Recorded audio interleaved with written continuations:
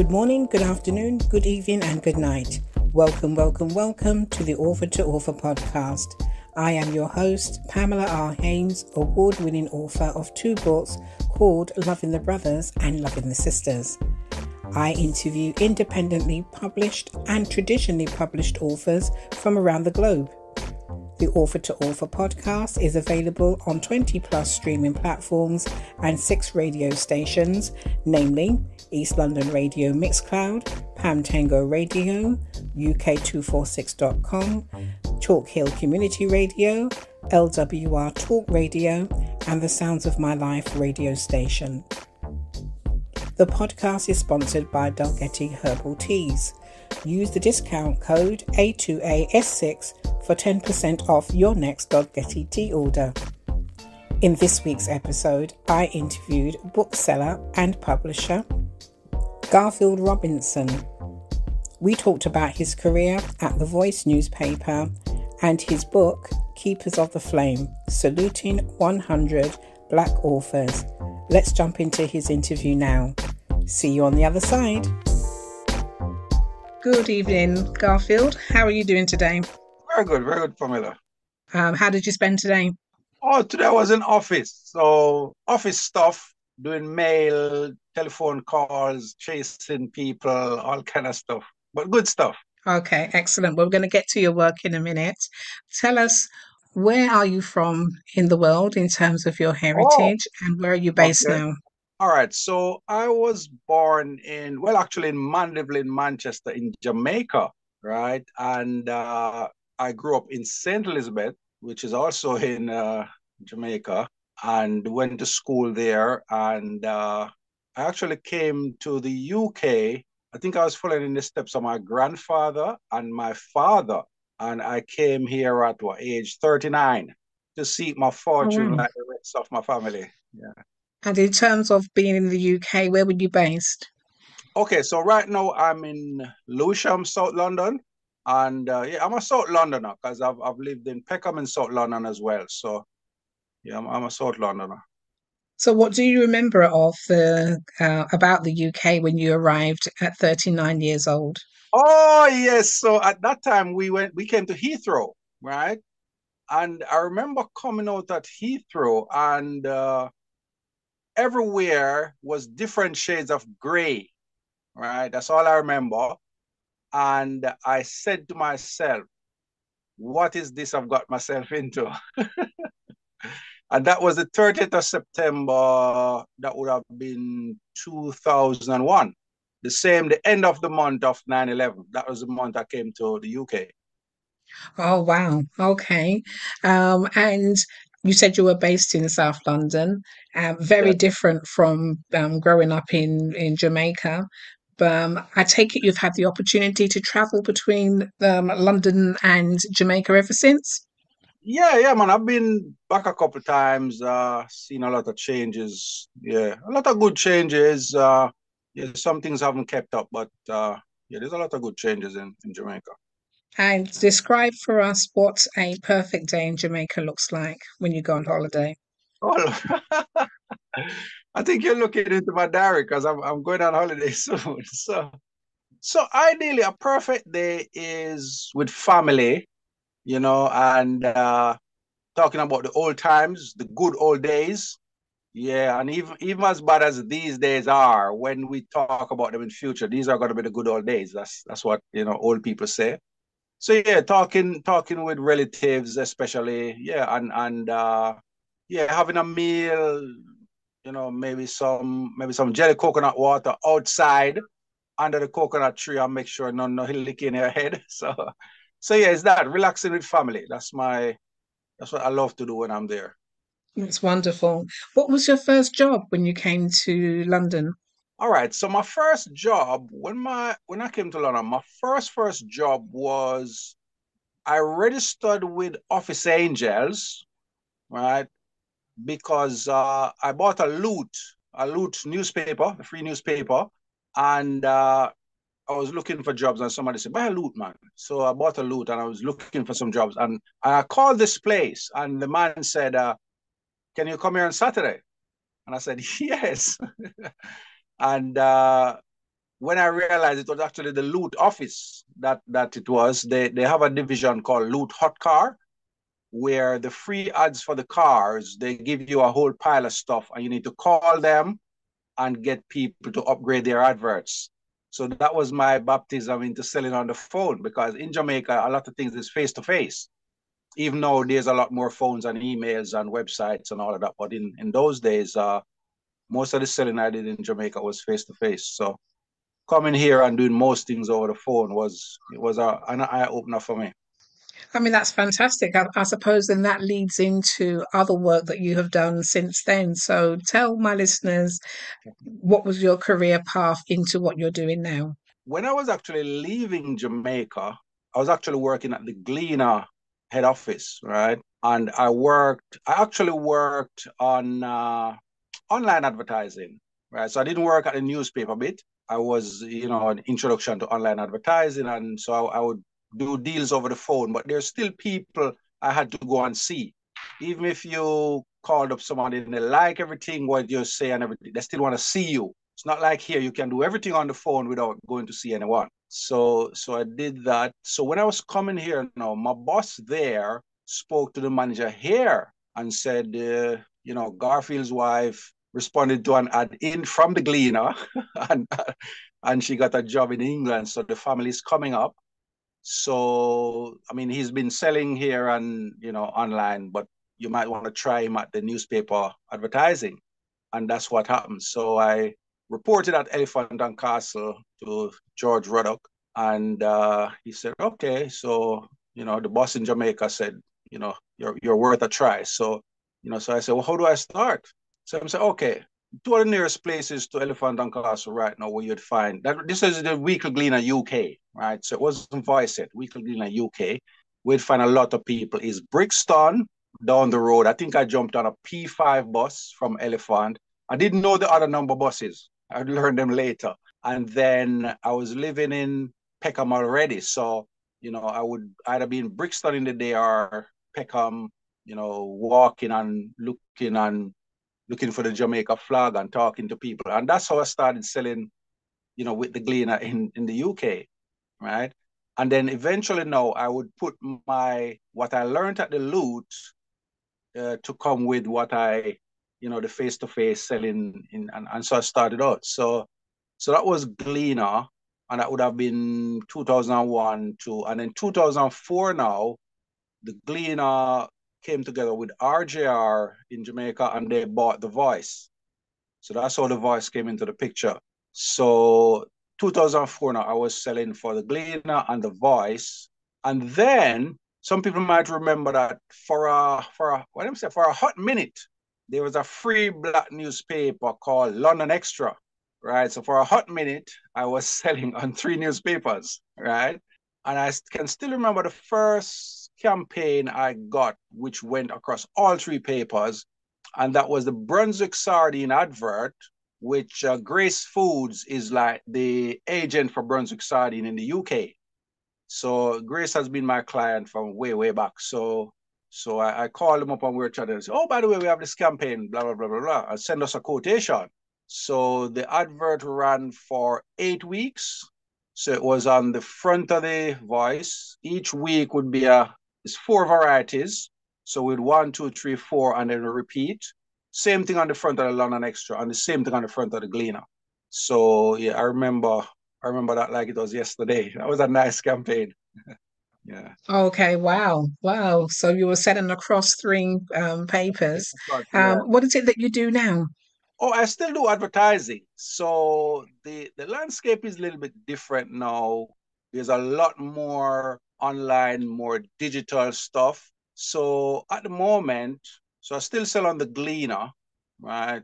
Then, uh, depending on what the campaign is, someone might have a campaign and they want some Jamaican or Caribbean viewership. So I can sell that on the Gleaner website, which even though it's housed in Jamaica, well, the website is everywhere.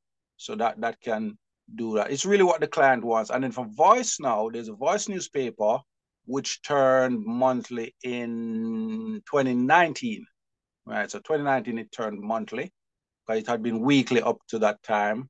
So there's Voice newspaper, the Voice website, there's Voice Facebook, there's Voice Twitter, Instagram, uh, LinkedIn, and YouTube. So depending on what the campaign is, it can go across like as many places as possible. Then uh, I've worked on many magazines too. Most people know the voice for newspapers, but we've published a lot of magazines over time. Some of them are like one-off, but some of them are like series. So in 20, 2016, we had an A5 magazine called uh, The Voice Food and Restaurant Guide. So it was A5 I remember magazine. that. Yes, all of us worked on it. And then I remember going to Birmingham to the Birmingham, I think it was the Birmingham Food Festival. It was a big, I think, two-day event with maybe what? I think they say over the two days they get upwards of 5,000, maybe 10,000 people. I remember going on stage to launch the magazine in Birmingham. That was really special. so, so, and I have to give thanks to my team it was me alone, but I got the, the important bit to go on stage to talk about it. But we all worked on it together. And then we ran the food and restaurant guide until COVID came when, you know, most of the restaurants were closed. So the magazine was kind of a little bit redundant. So, but in that time now, we had started another one, which was called, uh, this one was A4, which is the Voice Black Business Guide. So that one will be food and all different sorts of businesses. And that one now we started in 2018. And uh, we started, it was once a month, no, once a year, once a year. And then uh, 2021, coming out of COVID, we turned it uh, based on what the clients needed. We it went to twice a year. So we're still working on twice a year with the Voice Black Business Guide. Yes, and you have the latest copy there with you. yeah, that's the current yes. issue. Yeah, I picked this up from you a few weeks ago at Tilbury? the event to celebrate um, the Windrush down oh, in yeah. Tilbury.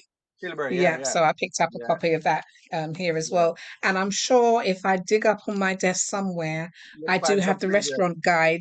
I've got the restaurant guide as well because my friend is in it. You know, her vegan Caribbean food that she was promoting at the time. Yeah, it's, it's interesting when you say that uh, restaurants obviously took a hit during the pandemic. they weren't, you know, they weren't open. So, what is your role then? What do you do at the, you know, at the Voice? What's your title? That's, I suppose. interesting. All right. So my title, if I can remember it, is Senior Accounts Manager slash Special Projects, right? So the special projects bit now. So let's say let's say we are going to say a conference to where Birmingham or, or in London. I am tasked with ascertaining everything we need to be at the conference, right? So I'll check the storage and you know things we took back from previous events. If we need to order banners, I liaise with the printers, work with the designer. If we need to order flyers and that sort of thing. If we're low on stock or so, I, I talk to you know the relevant people. Say to accounts, I need this, and if manager needs to sign it off, or if it's you know something, we do that. Then uh, on the actual day of the event or the days of the event, I'm normally, I'm usually responsible for the team and the the presence there, right? So, you know, people do certain things, you know, rest time. There's some events we go, you have one shift from early morning to that time, and then another team will come. So I, I you know, take part in all of that. And then uh, whatever help I need from the managers, you know, I pull them in wherever I need them. So that's the special projects bit of it. But the rest of it is is really advertising and uh, you know, there's a couple accounts that are managed, you know, so long-standing clients. I mean, like I mean, like Grace Foods. I mean, I've I've worked with them for many, many, many years you know in fact when we did the food and restaurant guide they were the main sponsor for the five years we did it so i see i see well it sounds like a really interesting job and you obviously enjoy what you're doing but yeah. beside your nine to five you yeah. also have another world that you moved into. I have to say, you were, were one of the first people to befriend me when I first published my very first book. I remember meeting you at I think it was Walthamstow. It was yeah. Central within that complex. Yeah, Walthamstow yeah. Assembly Hall. That's where it was. Yes. You, were, you you held the corner, lots of tables with um yeah, yeah. displaying the books. How did you move into that side of um, right. publishing? Do you have 15 minutes or you have 15 days? All right, I'm gonna make it short. so basically, what I what I was trying to tell someone the other day that when I when I lived in Jamaica, right, especially when I got my first job, I used to more or less live in bookshops, right. So I would go to a bookshop and I would browse until I find one or two books to to buy and take home with me. So I was buying books like nobody's business. So I've left quite a bit of a library. I think my sister has actually used some of them at her little basic school. So it's good, right? So when I came to the UK now, how I actually got into books is that uh, my wife came as a teacher and a couple of other teachers came, you know, from Jamaica and other parts of the Caribbean. One teacher in particular, she, you know, knew I worked at the Gleaner and so forth. And uh, she actually realized that she had come to this new country for the first time and she was learning the culture and heritage from the children, not from adults. She was learning the norms and whatever from the children. And she said, you know something? I think it's only right. Miss Lou would have said turn tanks, Louise Bennett it's only right that I give them a bit of my heritage and culture in exchange, you know, just to they, they know about uh, that. And I think maybe also in her mind, she didn't say that, but maybe in her mind, uh, maybe some places, when you say the name Jamaica, some people not sure, and some people maybe have experienced the good side of Jamaica, so they'll know. But it's it's uh, maybe she was like playing the role of an ambassador for the children. Maybe later in life they might be looking to go to holiday in Jamaica, but maybe that's me stretching it a bit, right? So I was able to find some. So she was asking my wife if I could find her things that you know reflect the cultural heritage, and I was able to find some, not CDs. I was able to find some audio cassettes of Louise Bennett, right? Because the Gleaner office was actually the outlet for the bookstore in the Gleaner Group. I think it's don't quote me, maybe, oh God, maybe Kingston Bookshop. But anyway, the, the, the bookstore that's in the Gleaner Group, the Elephant and Castle office was like the outlet. So they had shelves and everything with books there. But after a while, they had, you know, whittled it down and they had packed away what was left. That's how come I found Miss Lou's things in the storeroom. So I said to the lady at the reception, uh, I'd like to buy these, write me up an invoice, right? And I'm going to sell them and I'm going to pay for the invoice. I still have that first, that's the first invoice that started my business, right? And then as uh, as I go to school, I like to drop off my son in the morning. I, you know, chat to the parents. And I always say this, especially if they look Jamaican. And don't ask me what look Jamaican mean, but I can identify a Jamaican when I see one. And you don't have to have on the, the black, green, and gold, you know. But there's a, I think we have a look and it's not even like they open them out yet, but we have a certain look. so, so, and what I realize now is that people were actually interested. Uh, so they were grandmas, they had children born here who had maybe never been to Jamaica, and they wanted to share a bit of the heritage and culture with them. So they were interested in, you know, getting a book here and there and so on, parents and so forth. And then I was, you know, learning that there was this bit of a need, you know, and there's this, you know, curiosity and all of that. So it was in it was in 2002 now. In about September thereabouts, I picked up a newspaper. Might have been the same Gleaner in the, you know, the entertainment section. And I saw that they were having this event at 336 Brixton Road. And it was a cultural event for Black History Month. And I said, wow, that look interesting. So I called them and we had a little chat. And then I booked a space. I don't remember if I paid him over the phone or whatever, but I booked a space there. And then I decided now to run around and get some little things that would reflect, you know, Jamaican heritage. Because I started out by calling the business Jamaica Heritage, because I'm reflecting my my cultural heritage. So I found some BIS publications up in North London, Black Scientists and Inventors books. So I bought some of those books. And then uh, I found a brother out in East London, does t-shirts. And at about the same time, I'd also, I was able to speak to Miss Lou, Louise Bennett in Canada. And I said, you know, Miss Lou, I Don't ask me how my our number. I think I got it from somebody who, yeah. I'm doing a little event and I've, you know, we decided to put your uh, your picture on the t-shirt and everything. And, you know, we're trying to get your blessing. And she said, yes, you can do it. But remember the old lady. So I've always, I've always uh, tried to be an ambassador for Louise Bennett because she has done a lot to Jamaica, especially making us know. I mean, she studied in England, she toured in England, and she was making us know that Jamaican patois is not bad talking, right? She said, English language as we know it is derived from Norman French and this and that and that and that and that. And it's a derived language. The same way Jamaican patois derived from English and tree and all them different African languages and maybe some other language you don't even know. So Jamaican is a derived language too, right? So the English language is not better than Jamaican patois because they're on the same level being derived languages.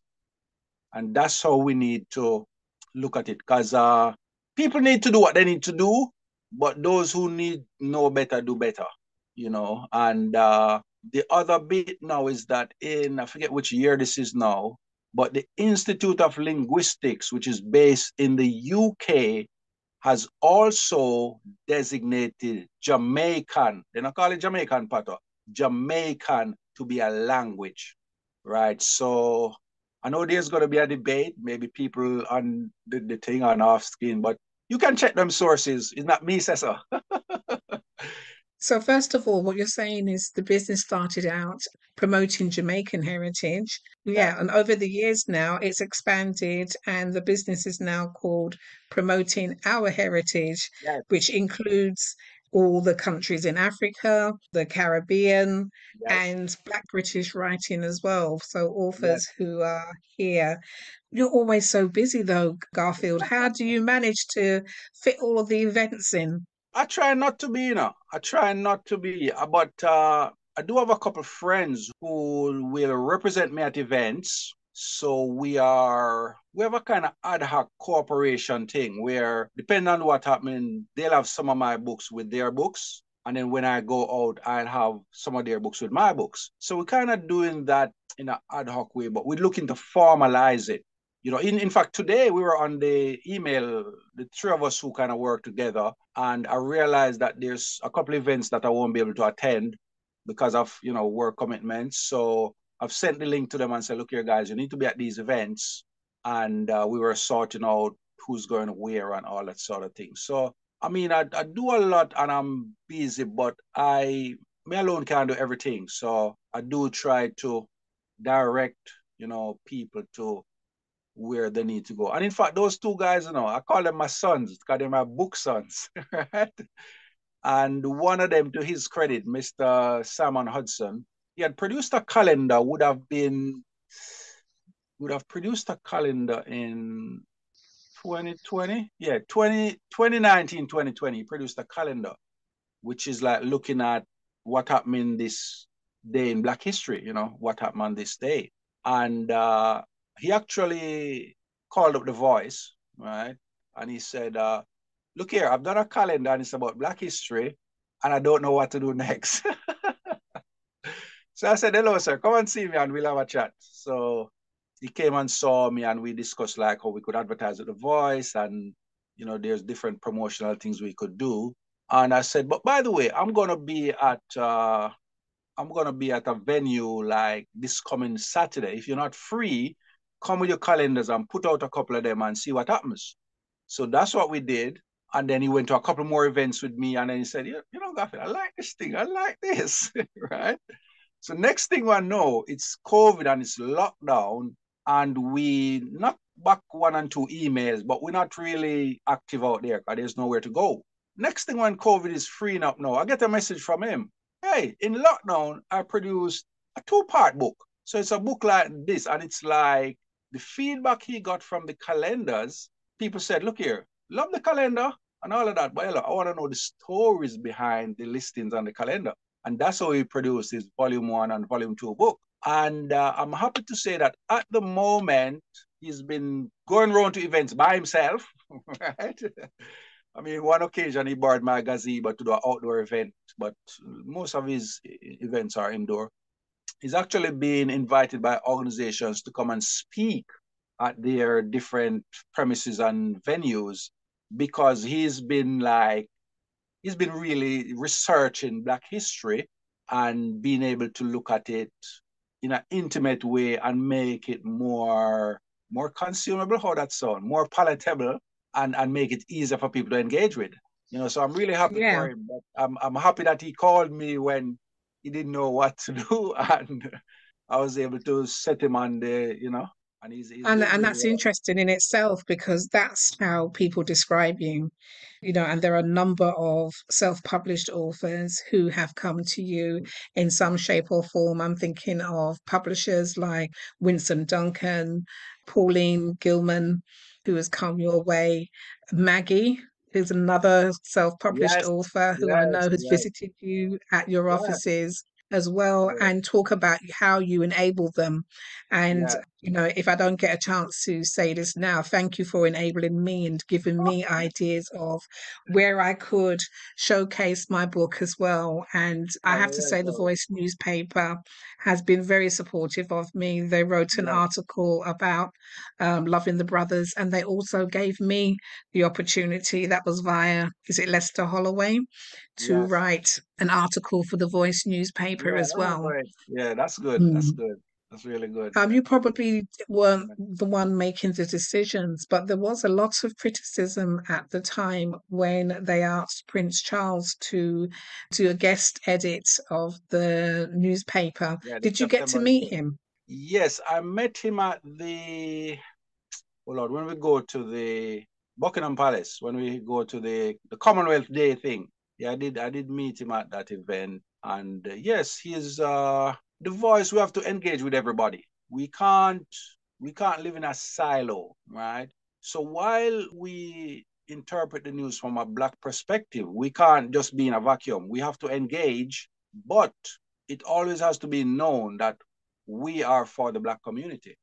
So whoever you see us talking to or working with, are we still have the the interest of the black community at heart you know so yeah, that's what we're really about. So he didn't actually come into the office and work from the office or no were, the, were you not there that day? the editorial team worked with his office but uh, right. he was regularly consulted as to how should this look you know and so forth. But then we our team had the final say because when you have a guest editor, you don't hand over everything to them and go about your business. You're still there, you know, manning the ship and, uh, you know, trying to get some kind of uh, insight. And that issue, that issue, the, the distribution was really fantastic guys we, we actually printed way more than we'd normally do because there was a lot of interest, even from places where we believe that there was no initial interest in what we're doing. Yeah, that was that was a good uh, collaboration. And I like that word. I, I like the use of the word collaboration, um, especially as a strategy moving forward, where people are pulling together resources, time, effort, you know, expertise, and so on. So um, I really do like the use of that word as well. So, if you had the opportunity to collaborate with anybody, who would it be? okay, all right. Oh Lord, that's a hard one now. On which side? On my voice side, on my book side, on my which side? All right. You already spoke about collaborating with uh, Miss Lou, and you worked in collaboration with King Charles. If you had the opportunity yeah. to work with anybody else, who would it be? Oh Lord. All right. So, all right. I'm very you see what I do with authors, I'm very passionate about that, right? So most of what I do with authors is on weekends anyway. So I'm a bit of a weekend warrior. Most of the during the week it's voice and gleaner stuff, but on weekends. So I had the opportunity, I mean, two years running, I was a bookseller at uh, the Jerk Cookout. Jerk Cookout held at the Horniman Museum, right? So Levi Roots was going to be a guest there, right? And uh, the organizer, Tony Fairweather, said to me that Levi is going to be a guest. But guess what? Levi have a book come out, you know. Have you spoken to him? I said, no. He said, well, this is your opportunity. this is your chance, right? You need to reach out to him and reach out to his team and see if you can get some books and do a book signing at the event. I we think that would, the, the, the patrons would love that, right?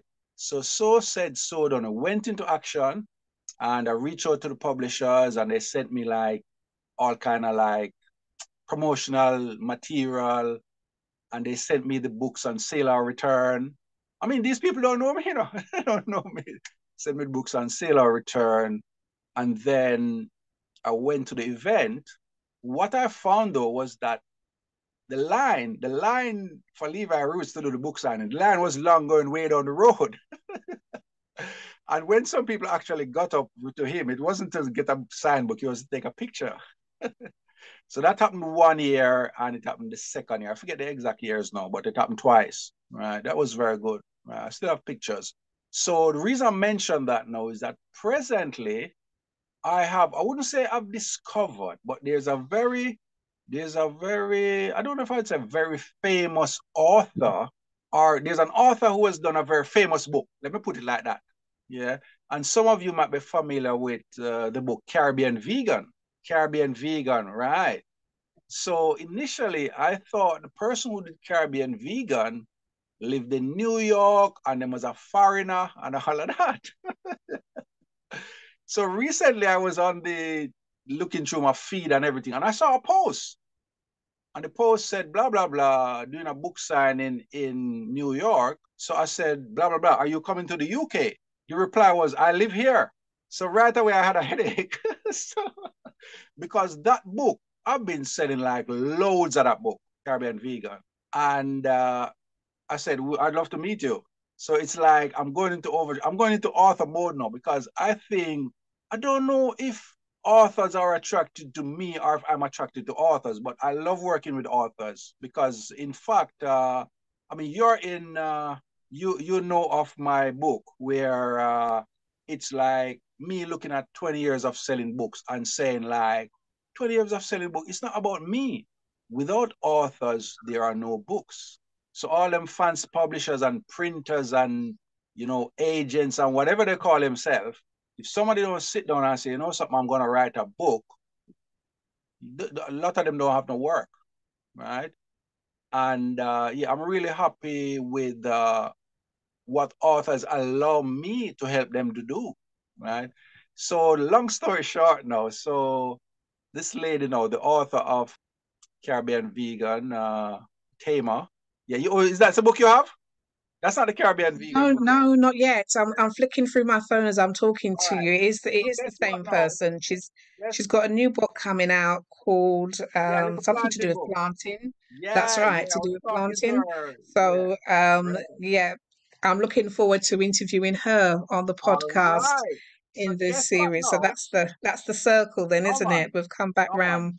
It's it's alignment, alignment, right? Because on right. the 12th of August when I go to the event at the Horniman Museum, which is called Jerk Music and Things. Yeah, Music Jerk and Things, right? Music Jerk, get it right, Garfield. Music Jerk and Things. I'll have her on my stand doing a book signing, right? And she's also going to be on stage doing a quick demonstration of maybe some of the planting recipes. And this is going to be the first place in the UK she's going to do this sort of activity, you know. And no doubt, uh, once we do that event, everybody's gonna want to do an event with her. But she's she's she's really looking forward to, you know, meeting a lot of the people who have been buying her books, and also, you know, looking forward to to some new people who are gonna enjoy. So that's a collaboration I'm looking forward to. There's some there's something between me and authors because uh, on the 8th of July in in West Works out in White City, it was the Hammersmith and Fulham Writers Festival. The head honcho, Rashida, had asked me to help her put a little a little program, a little brochure together. And while putting the brochure on, somebody had approached her and she said, Oh Lord, I don't have anything for you to do, but maybe you could write an article about, you know, like how people are are like trying to think like about how women live rather than asking them. So it's an opportunity for you to tell, you know, from the woman's side. So the person who actually wrote the article We put it in the magazine. On my way to the event, I had to pick her up with a box of books. All right. You to read the real story now. you saw here the real story. So I picked up this lady and we had a chat going to the venue. Mm, this is what eight o'clock in the morning. We reached the venue. So I pick her up like about 7:30 and we chatting all the way to the venue. Cause we going there at eight because the thing gonna start at 10:30. So we set up, she helped me set up and everything. We fix up everything. And the event start and we there selling and she's signing book like crazy and everything. And I'm saying, wow, who is this lady? I mean, Rashida introduced me to her. I'm to read the article, but I still don't know who she is. And it's like her book is called Sex Bomb, right? Then one person now said, I want to buy your book because I saw you on TV the other morning. I said, Oh no, this is like 3:30. I said, Sadia, were you on TV which morning on ITV? She said, Yes. She said, but me pick, me pick you up from 7:30 and we had talk. And you know, mention nothing about that. I mean, she's such a humble person. It's 3.30 in the afternoon. And I said, this lady was on ITV talking about her book. And it's like, I don't know. I don't, I don't know. I don't know. I mean, if any authors trying to like find their way, I mean, I must say, thanks to like Winsome and all the book journey mentors and all the book midwives, they do a great role, which is to like from the conception of the baby to giving birth. But to be honest, that's their specialty. And I think my specialty is now from the birth now to the marketing bit. So how do you sell this bit? So you have this little baby, which is a book. You need it to grow up to be a teenager, adult, or whatever. But you need to get sales from the book. I mean, you're telling your story, which is going to help people, but you need to sell it, and it needs. It's going to go far around the world. It's going to go places that you might never ever dream of going. That that's what books do. So I'm really happy. I was telling them, I was telling my children the other day that, you know something, I still don't know what I'm going to be in life. so them say, lie, you're lie. But me say, but hold on, I, I found something I've enjoyed doing, which is the books and, and especially working with the authors. Because for me now, working with the authors is more important than selling the books. If I work with the authors and get them in the right frame of mind and everything, the book thing will take care of itself, you know. And I've actually been like, you know, every now and then I get like a volunteer on my stand and I show them the ropes, how to sell, how to talk to people, how to pull this hello.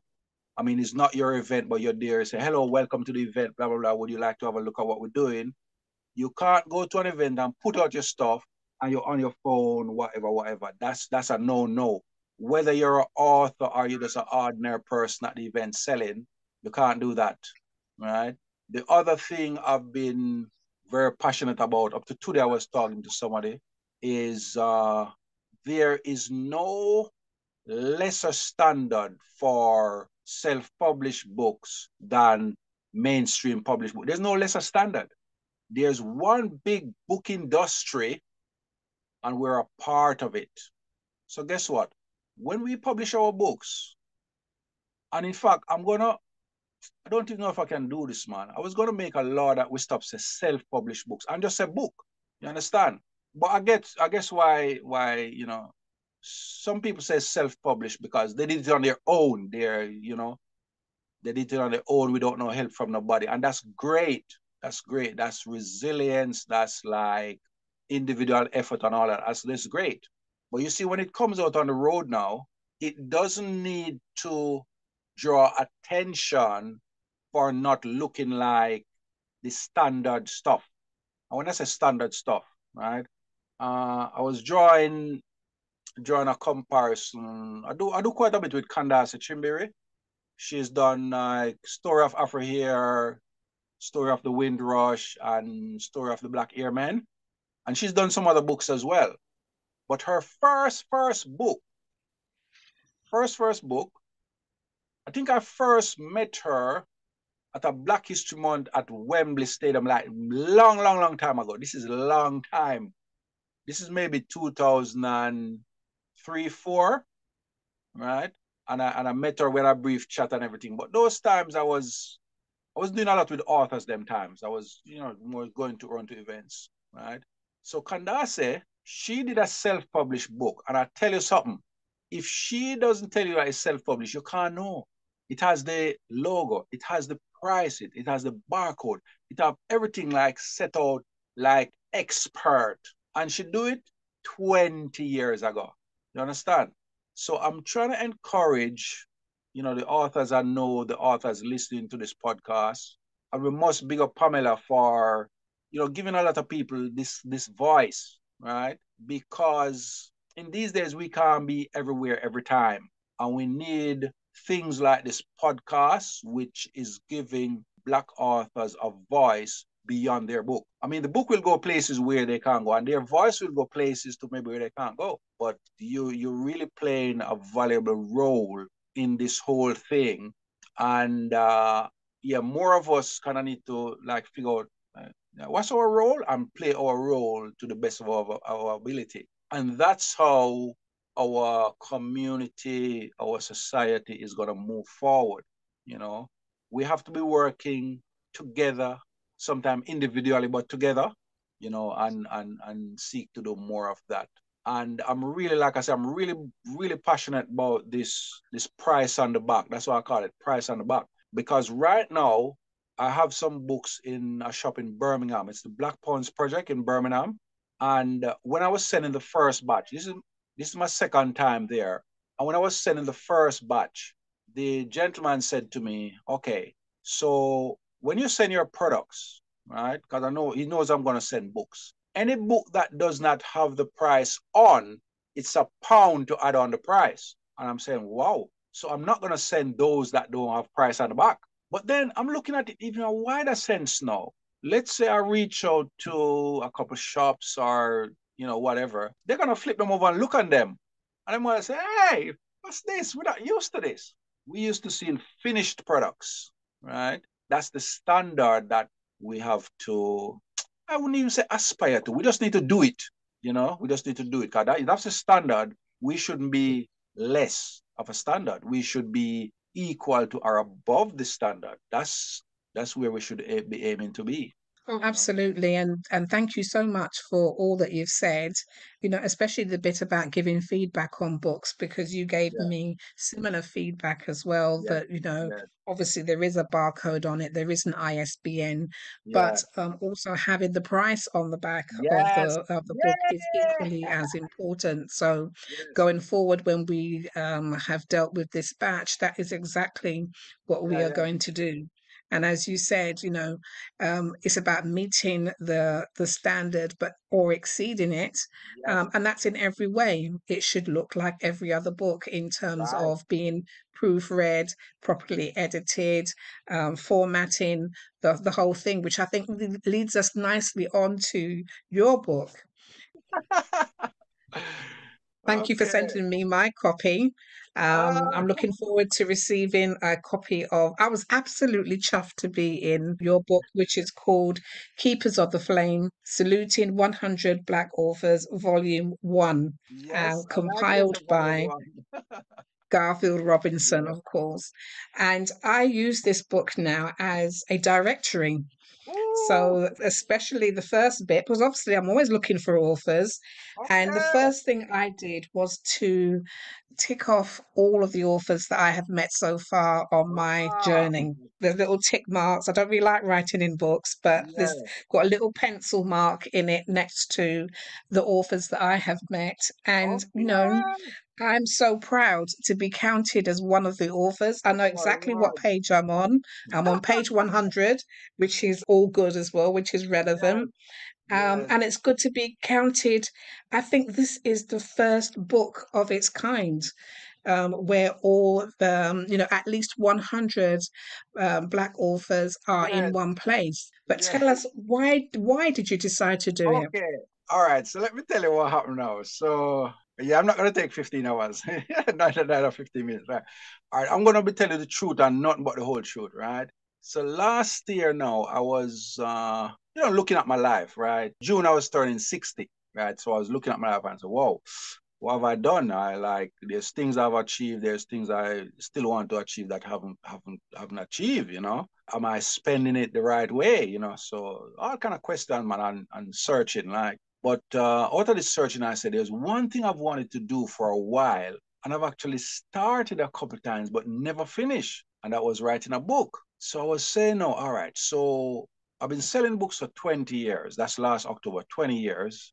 And I remember when it was 10 years, which would have been 2012, 20, 10 years, I tried to write a book about myself coming to England to seek my fortune and end up selling books and then what a place I've learned around the UK, which I wouldn't never have gone to if it wasn't for books. I know I've been dragging my family to all kind of place. Some places I reached there before the organizer and all of that, and that looked bad. so, so anyway, I said, all right. So it coming up to 20 years. I can't, can't write that, man. Can't write that. So I'm still thinking like, so what do I write? So I've decided on the book now, but what do I write? How do I do it?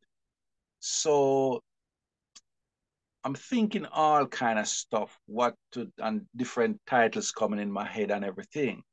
And I remember something I overheard from a conversation.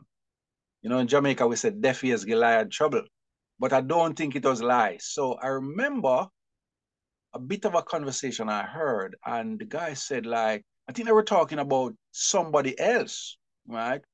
And the guy said, as the river runs, so is he. And I said, wow, that sounds deep. That sounds so profound that like, I don't know.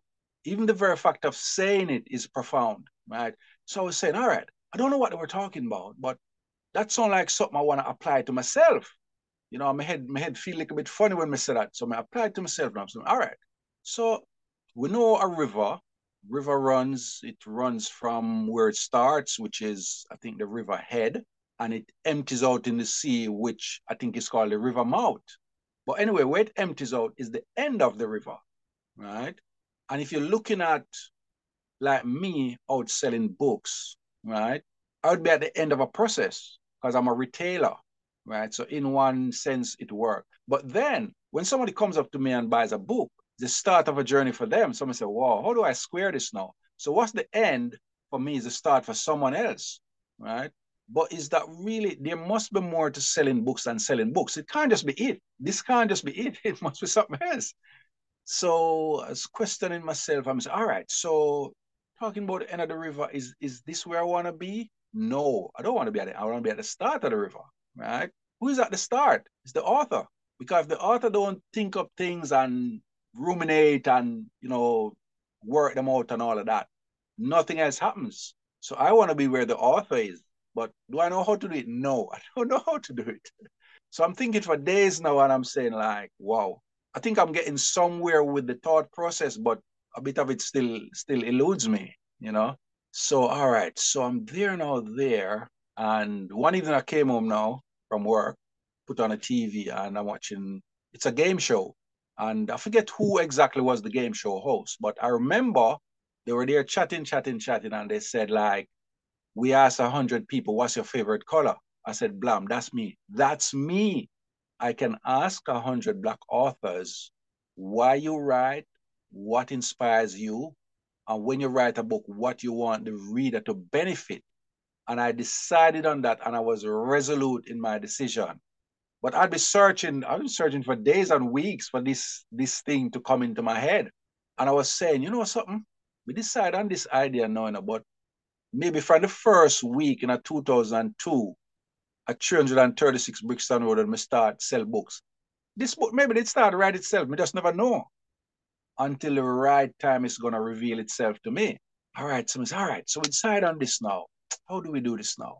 So in fact, in 2012, when I was questioning whatever, I did put down like try to see how many authors I knew at the time. So I did it on Excel sheet and all of that yeah, I think I got to like must about 80 or something like But I left that to the side and, and, and moved on. So so last year now, on the first of March, so I'm dropping my wife to wife to school, and uh, I said, you know, I'm on a march of 31 days. She said, Oh, good for you. Good for you. You sure you're okay? I said, Yeah, man, I'm fine. Never felt better. I'm on a march of 31 days. So drop her to school and went to the office and I'm still in that mood, upbeat mood, because you know, I found I found the solution to the problem now, and I need to implement it now, right? So so went into office and started some work. One of my colleagues came in. He was a designer. And I said, bro, I have a problem. I said, what? What here? You have a problem? I said, yeah. There's a book inside of me and it has to come out. He said, all right, I'll help you, man. I said, hold on, you know, tell me if she got charge me or nothing of the. I said, nah, man. We start out the book, and it remind me when Bob Marley say, if money if come out, make money come out tight. We said, we're gonna sort out the book, and then after that we we talk, right? I've paid him, by the way. I've paid him. so, all right. So then, uh, so I started to do now. So in the day now, I'm doing voice stuff and you know stuff, and then in the evening now, it's a lot of emails, not a lot of telephone call because I don't want to keep up the rest of family, you know, with me chatting all night. So it's a lot of emails, telephone call every now and then.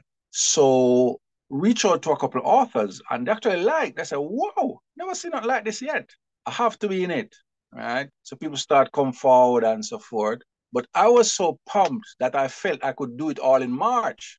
No, it wasn't to be. Right. So we did go hard. And then at the end of March, I had uh, 40 profiles. 40 authors has sent me their photo, information, and everything. And I can tell you a bit about the process. So it's like they sent me 200 words, why you write, what inspires you, and you know how you want the reader to benefit. And their name, I mean, some people have a name which is not the name that you know them by. So we had to work on a couple of those. And then I was saying, but how can I make this special? The name bit. So while I'm thinking about it, I'm saying, whoa, there's an app called What Three Words. How can I pull in technology into what I'm so I said to each author, you know what you're gonna do? You're gonna give me three words that describe your character, or kind of like three words that get people to reach where you are, which is kind of modeling on the location app, if you, you understand that. So that's what I did. So yeah, people start saying, whoa, one guy said, you know, something I can't choose the three words. Somebody has to choose them for me. So you know, all kind of things. So anyway, at the end of March, 40 profiles. And I said to my colleagues, gentlemen, this thing can work, you know. This can work. We just have you know, a little bit more resolute. So April now, marching of 31 days done, but reach somewhere. so so April now, we at it again, mostly evenings and nights, at it again, at it again. So the end of April now, we have eight profiles. So I so Miss said, like, me glad bag bus, because 80 profiles means that it can really work. So 40 means that, yeah, look like can work. 80 profile, we're 80% of the way. So going over into May now, it's like a lot of weekends and nights. And we finished, we finished the middle of May, right? And the designer sent me the files. I think during the day, I had gone to a meeting up in Birmingham. And uh, in the evening now, I'd paid the print already because I know I was going to be on the road. In the evening now, he sent me the file and I look at it and I press OK to the printer while I was going to take the train. And I was saying, have I done the right thing? so I'm a little bit nervous now after I press the thing. And for the next two weeks now, well, for the next 10 days, I'm saying, wow, what is, what is it going to look like? this is this is the first ever I'm I'm like responsible for publishing a book. if it look like rubbish, people gotta cuss me and like. But I hope it I hope it works. Right. On the first of June, while I was at work, some boxes were delivered to my house, and uh, yeah, my dear wife received them. and she sent me a little WhatsApp. Oh, some boxes came for you and I at work I was mad. I was beside myself. I was "Wow, you know, from the march of 31 days, I haven't said nothing else to her about marching or climbing or walking." so, so I mean, I actually can't wait to get home, man. So I was I was beside myself the whole day. If my boss is watching, yes, I did watch the clock that day, cause so, yes. So so when I got home now, thank you very much for receiving the boxes. Cut one open I said, This is yours. So what's this? I said, Look at the cover. She said, Oh, oh you've done it. You've done it. I know you were talking about like publishing a book and but I never know that it kind of got so far. You know, congratulations. And she said, Get a little hug. In the middle of the hug, she jumps back. And I'm saying, Oh, like so she said, Hold on, hold on, hold on a little bit. Who knew about this? Who knew? Who knew? So I'm saying, wow, this like sound like dangerous now. so so I said, okay. So when we when I was doing it, uh, you know, I showed the children some of the pages, and they said, yeah, that look good. That it, that look good, man. Do it. Make sure you do it. So I said, yes. So, oh, so she said, oh, so the children knew. Hmm, the children knew. so, so She said, who else knew? Someone said, oh no, I thought we had finished. so, so, I said, uh, no, your sister in Jamaica, I, I, sent her some pages to look at and she said, whoa, this look good, man. This this is good. Make sure you finish it, you know. so so that kind of encouragement. So so she said, Oh, interesting, interesting. Who else knew? So I'm saying, Whoa, this stage I'm gonna start getting nervous now. So I'm saying, Whoa, look like I'm gonna have a night on the tiles or not on the tiles, tiles, but outside with the dogs. So I'm gonna sleep on a... so I'm thinking of what I'm gonna say to Bruno. Bruno, move up a little bit more come beside you. But the thing is that we do have a dog, so so I said to her, so okay, so uh, I sent some pages to my brother in America and he looked at them and he said, Oh, that's good, that's good. So I get encouragement from the family right around. So she said, Oh, so it's gonna be one never know. But I didn't, I was so like out of my head that I didn't I didn't say that when I said in the car I'm on a march of 31 days, that's what I was trying to tell you, but I just left it there. Right. So I said to her, okay, okay, I'm sorry, but I can explain. Because I'm thinking quick no no. Because like I said, I don't have no Bruno for God, you know, stay beside her nothing so so say, okay. So we've been married now for 33 years, right? And I've told you a lot of things that I've done. I've also told you things I've never done. I've never gotten to do them and, and never finished them. And I didn't want this book to be another thing that I tell you that I'm going to do and I never finish it. She said, okay. When you explain it like that, you're forgiven. Apology accepted. Congratulations. And I said, that was a close one. so, yes, yes, and um, as I said, it's absolutely beautiful, um, unique. I, I love all of the photos, the drawings that are on one side, and then what people had to write about on the other side as well. Yeah, but you know that there were a few people who were upset that they were not um, in the first cohort of um, authors. Um, I mean, if it's a 100, you can't you can't make it a 101. You have to stick at 100. So, what are you doing to redress the the balance? Okay. okay. So I must say, right? Thank you to everybody who well full participated. The Rastaman said they not participate. They they came fully, right? So you know, thanks to everybody who, who came on board, and because this this was really my way of trying to find a way to pay my respects to the authors who, if there are no authors, there are no books. So as a bookseller, you are wanting to protect where your goods come from, right? You're wanting to to recognize their efforts. You're wanting to salute them. That's why I said saluting 100 Black authors, because you know while I was doing this thing, man, I got a phone call one day, and the lady was, she was crying on the phone. And I was saying, I forget this who now. She I was saying, So lady, what are crying for? She said, Look here, you sent me this invitation about this book thing, right? I've been writing books from I'm a I'm a young person and thing, and you know, I've never been recognized anywhere from my work. And you now come recognize me. So I'm I'm I'm very emotional. I have to cry. so I say, so I say, all right. But guess what now? At some point, you have to stop this crying. If you don't stop, I'm going to start crying. Because when I started this thing, I didn't set out to make anybody cry. so, you know, so those are some of the things that, uh, you know, have been happening, you know, with me trying to ensure that our authors, because the author thing is, how do I do this now?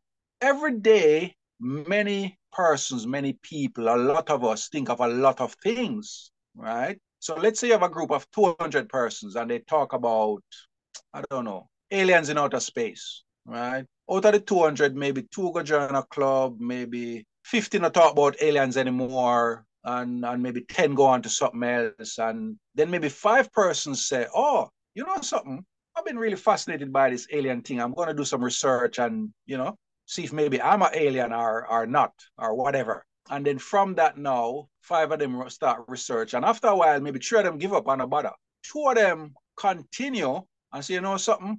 I want other people to know my experiences, my journey, the time when the alien did kidnap me in the desert and then it find me three days afterward and it was all right. I want to tell my story. So out of the 200 we thought of the alien thing and whole, but one person actually finish them book, right? So this one person, in a way, them kind of rep- representing the other 199 when never finish, and then they also representing the public who are interested maybe in that topic and would like to find something they can dig into. Maybe it's a beach read, maybe it's a science fiction novel, maybe it's a something, something that they can engage with that would maybe fulfill their curiosity or realize that I'm not the only person who thinks like this. See, this guy's done a book and I bought his book, or this woman has done a book, and it it reads well. It's been well researched, and you know, you know it's their experience. And if he writes another one, I'd buy that as well. So it's like authors have a very, very important role, right? And if you notice, I am purposely not saying published authors. I'm talking about authors, right? Because in my volume two, there's going to be a page defining who an author is. Because for volume one, I actually had to convince some people that they were authors. You never believe this. Yes. Oh, wow. I didn't know that. How they look at their work how they look at their work and how they define themselves, if you draw for the dictionary definition and impose it on them, they say, Whoa, I didn't know I was an author. I just see myself as a like writer and a whatever. Yeah. And author, the word author, I'll, I'll forget the definition now, but it has something to do with thoughts, right? In the book, I'm going to define like the where the word come from and what it means and and so forth. And I'm hoping that more people who don't realize that they're authors, we say, whoa, I didn't know I'm an author.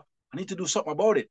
Right. So volume two is gonna have a page dedicated to giving one or two definitions of who an author is and maybe a little bit about their role in society you know so so garfield tell me when is volume two coming oh, out i was I was afraid of that question. I was afraid of that question. So, all right, I'm going to be 300% honest now. So, volume two should have come out at the beginning of June to kind of match volume one, like a year later, right? The whole truth about it is that uh, this year being the 75th anniversary of Windrush, my responsibilities at work, different events, and all about, I had to put it to the side. We got over that. And then uh, I must say that my designer lost his mom. So he had to we had to give him time to grieve, right? He's just coming back around now. So with those big events, guys, it's a big event to lose your mom, even if she she was ill. She brought you into the world, you know.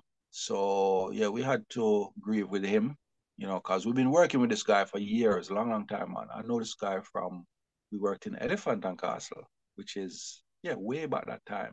So I've, I've known him easily 18, 19, 17 years maybe. Yeah, so so he's just coming back around now. So we're just making plans to go back again. So we have the 100 authors in volume two. We just need to do a little bit of tidying up. We have had one proofreading already. Then my second proofreader now is my backup proofreader now. She's uh, she actually has a family emergency, so she's she's not even in the country. She is working, but I have to give her some time to deal with you know, family stuff. So when she returns, yeah, we'll hand over to her and she'll do the second proofreading. And uh, with her keen eye, she'll see other things that maybe I didn't see or my first proofreader didn't see. So it's uh yeah, these are these are, you know, my my my friends who are like my family now. So so I have to pay respects to them, you know. So, I mean, condolences obviously to um, your friends, but we can expect the book at some point this year. What does volume three look like? Oh, my my grandma said you're taking days out of church now. so, what I tried to do in volume one, believe it or not, what I tried to do is to invite a hundred authors who are actually new, right? Because when I look at 20 years, I I've met a couple hundred authors And if if I look at like books I've sold, it's from a couple hundred authors who some of them I've, I've never met them. When the book just came out, I was happy to say that the hundred, I knew all of them and they all lived in the UK. But since that, it's a year later now. I know one lady lives in Jamaica now. She went to Jamaica with her family to live. And somebody I think lives in Ghana now, one of the other authors. I forget which one right now, but I know it's 98 of them still live in the UK. So in volume volume two, I think there's two Jamaicans. Yeah, they live in Jamaica. That's that's what I mean by Jamaicans, because yeah, you don't live in the UK, right? Two authors who live in Jamaica. And yeah, most of the rest of them, most of the rest of them are UK, UK based. Some of them though is I didn't meet them over the 20 years. I've met them since book one came out. So you see things start change up now. So by we enter volume three now, there's going to be still a lot I know because the average event I go to, I mean, I was saying I was at an event and I was saying, wow, the average event I go to, I meet one or two authors who I've never met before," and I was kind of quiet because I never seen no authors. By the time I said that, I don't know where them come from. Two authors turn up. I say, "Oh my god!" Oh, how funny! People now have been sending people to me, right? So I remember I went to an event in Southall Southall. I went to I know this lady a long time, right? She's part of University of West London, and uh, yeah, they were giving me some help for my business as well. And kind of uh, what do you call them incubator. So I've been trying to get not just book selling, but a proper business business, right? So I went to this event now, and this young man came over to me, and him say, him say, "Hello, Garfield. Colin send me to you." I said, "Why Colin send it to me for?" Cause first me I meet this man. First, me I meet this man and he come over like him know me. Hello, Garfield. Colin send me to him. I said, wow, what is now? I say, what Colin send it to me for? He say, oh. I say, all right. So I've been writing. So I'm uh I forget the word him use, like he's uh like prospective author, something like that him say. Some fancy term, right? So he's been writing now, but he's stuck. He's stuck and him, him don't know where to go next. So I say, Oh, I have the answer for you. Here is a book with a hundred inspirational stories of authors who I believe will kind of get you back on the track. So take it up and him start look at him say, What? I said, I've never seen something like this before. Never. He said, All right, please sign it for me. So sign it for him and thing, and he paid me and everything. And he went off. This was about like 10 30, 11 30 in the morning. You know, about three o'clock, I see the man coming back. I'm saying, Whoa, where do I run? What this man is coming. This man is coming towards me, and he's like, him very purposeful and him resolute and him coming straight to me and I'm looking around and I'm not going to nobody else. He's coming straight to me and I say, wow, what is now? so, seems like Garfield, how you doing? He say, him said nothing to be scared about, man. He said, oh, cause word, I was, I think he was coming to fling back the book at me or something. He said, no, man, you're joking. He said, look here, I'm on my way to visit a dear friend and uh, I want to bring a gift for them, right? I don't want to go to the shop to buy them, right? I would like a second book for my friend. So did and he told me the name and what and you know what is the person like and I wrote it in it. Sometimes I'm writing those things and I'm I'm saying, "Wow, is me writing them things?" So it's like, and I said this thing to someone a couple of years ago, right? So I came to England following. Well, my grandfather was here, my dad was here, so I kind of feel I don't know if it's destiny or whatever, but but I didn't know what I was coming here to do because I've I've not done what they were doing, right? So my grandfather worked in, I was told he worked in a pin factory. I'm wondering how much juke him get by pin and all kind of things. That's a long time ago. And my dad, no, I know my dad was always a carpenter, right? But he never liked the place because I'm still like, I'm still like feel ice. Them just put up on a water to do a night time and then get ice. I mean, I really like that. So he went off to America and uh, yeah, that's where he he worked and and sent back money to build our home. You know, we were living next door grandma, so yeah, he launched it and did that. Back to the point I was trying to make. Yes, so I was saying to the person like, when I came here, I didn't come here for selling no books. I mean, I've always loved selling and everything because uh, I grew up helping my grandmother in a grocery shop. She would say to me, "You can't buy nine and sell nine." So we now say, you know, in business, you must have a profit motive. So if you buy something for five pound, you can't sell back for five pound. You're looking to sell it for 15 pound. There's cost of sales, there's expenses, there's lunch, there's rent, there's all kind of things. So you can't buy nine and sell nine, you know. So I was saying to the person, you know something, I wasn't coming to England to sell no books.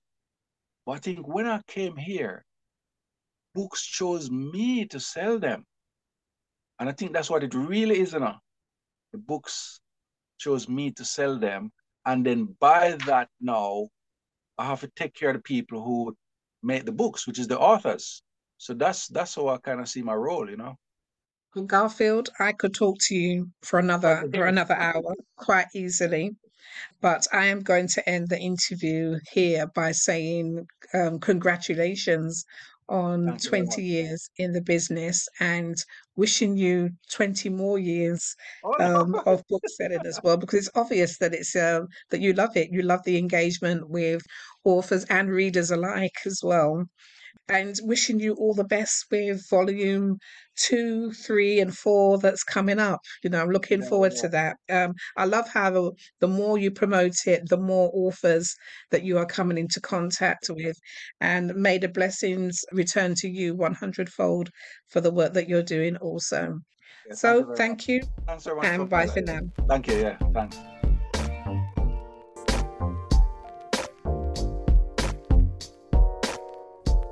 It is competition time now. I am mentioned in Garfield's book. What page am I listed on? Was it A, page 99, B, page 100, or C, page 101?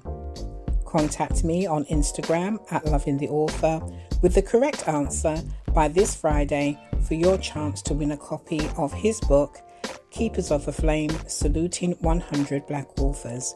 Good luck. Thanks for listening, and we'll see you next time. Bye for now.